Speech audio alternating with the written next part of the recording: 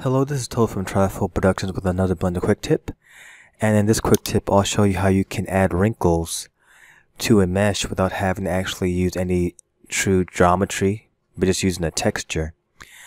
And uh, I'll leave a description of the paper texture that I'll be using in this tutorial and the description uh, below this video.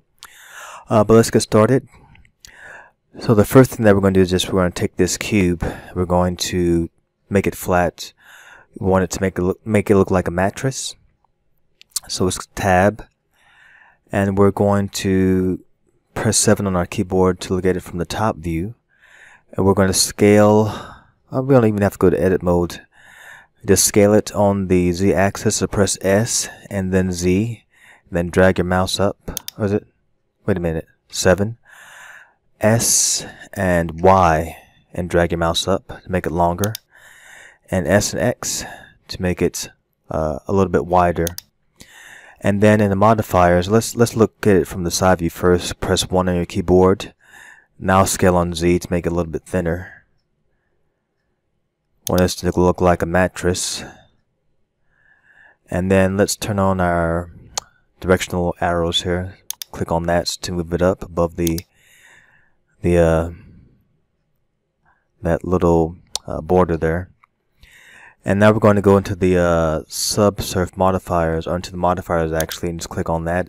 And we're going to add a bevel to it. And we're going to crank up the segments to make it a little bit smoother on the edges. So here, just click on that. And uh, yeah, there you go and we're going to apply that. Now that's not really part of adding the wrinkles to the texture, but I just want it to look good for the tutorial. And the next thing we're going to do is we're, we're going to divide our UI here. We're going to hover over this area. When it turns to a crosshair, let's just pull this down. And then we're going to go to this little tab here, this little icon. Click on that. And from the drop down menu, we're going to click on Shader Editor and it'll give us our shade with the principal shader for this. And we want to know, we want to know what this is going to look like. So let's press on this little uh, icon here. Click on that, and it'll give us a shaded view of what we're looking at. And then we're going to go back to our uh, right panel here and click on this little icon, which is for our material. Click on that, and it's already been activated to use nodes. And from here, we're going to press Control T for the node wrangler. So pr press Control T on your keyboard. It'll come up and G to grab it. We're going to pull this up. And then G again to pull it off to the side with your, just pull over to the side with your mouse, click on that. We're going to turn this from point to texture. And we're going to open up our first texture, texture but before we do that, let's just duplicate this set of nodes. So left click, hold down your left mouse button, drag that across. And we're going to press G, or Shift D actually. Duplicate that, press enter. And then press G and pull this down. And we're going to position that right underneath this first set of textures. Let's click left click on this and drag this over. And what we're going to do next is press Shift A. And we're going to pull out our mix shader from this uh, pop-up menu. Click on that. Because we're going to mix the two uh, textures together. The fabric texture plus the paper texture that we're going to use. And then left click and hold down your left mouse button and drag this up. And then when this line turns white, it means it's connecting between these two uh, nodes and then we're going to let's zoom roll scroll down your mouse wheel. We're going to take this. Hopefully we can see this good enough. Or let's let's actually just left click and drag over those section of nodes and press G again and pull this down. We're going to zoom in scroll up on your mouse wheel.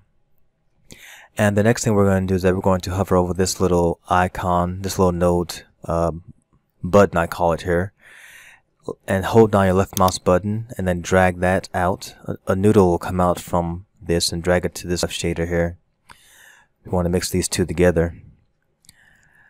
now the next thing we're going to do, oh, looks like my software, the Blender is frozen. Oh, there it is. Just come back. It froze up for a second. I get kind of nervous sometimes with this, which I shouldn't do because, uh, as I've said in previous tutorials, the the screen recording software that I use, Camtasia, keeps freezing up. So I'm just trying to get through this tutorial without having to do this 15 or 20 times. Uh, but from here, we're going to zoom in to this first texture, this first set of this first set of nodes up here at the top. I'm going to scroll in, scroll up and zoom in, click on this. And I'm going to navigate to where I've saved uh, some textures on my computer. You do the same with your computer. You can, you can use any texture that you want to for this uh, technique. But I'm going to scroll down. Which one am I going to choose? Uh, let me see. Uh, choose something that's kind of, oh, here's one. This looks pretty nice. Double click on that. And that's going to load up that texture and we'll see it in the viewport here in a little bit. And there it is. It's pretty big. Let me see if we could make it a little bit smaller. Oh, let's actually, before you actually mess with this texture, just turn it from UV to, generate it. Pull this down. And that's going to give us a better because this is not UV unwrapped. It's just just a flat texture, uh, a flat mesh. I mean that has been unwrapped. That has not been unwrapped. And there we go. We have our texture on top. And if we scroll back into our window where our nodes are, we're going to do the same thing. Turn from UV to generate it. All you have to do is left click on that little button that says generated. Hold down your left mouse button, a noodle comes out. You drag it onto the vector. And once this accepts that little change we're going to go here. And we're going to click on open in this section in this second section of nodes this is the first section at the top. And we're going to go to our second section at the bottom we're going to click on open and we're going to use that texture that uh, is in the description below uh, this video. And we're going to, I'm going to navigate to where I've already saved mine. And I think it's in this one. And there it is. Double click on that. And wait, wait till it loads up. A few minutes. And there it is. And you can see that you can adjust it. That's why I use the mix shader as, as opposed to the add shader. We want more of the fabric to come through than the paper texture. So I'm going to drag, hold down my left mouse button and just drag it towards the left here so that the fabric texture shines or comes through a lot more. And there you go. That's how you can add wrinkles to a fabric without having to add more geometry. And it's just a quick, simple shortcut that you can use as a, a, when you want to you know, make your fabric look more realistic. You can do this, the same thing with curtains, the same technique with curtains, with uh, sh clothing, shirts, pants, whatever it is. And you have a wrinkled texture onto your fabric, which makes it more look more realistic. So yeah, that's my Blender quick tip for this evening. And I thank God that it went through without the uh, software crashing. But yeah, that's it.